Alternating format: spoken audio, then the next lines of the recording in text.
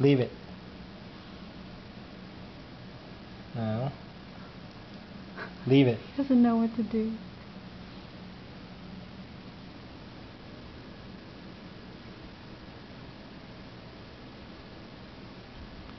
Leave it, Beignet. Leave both of them alone.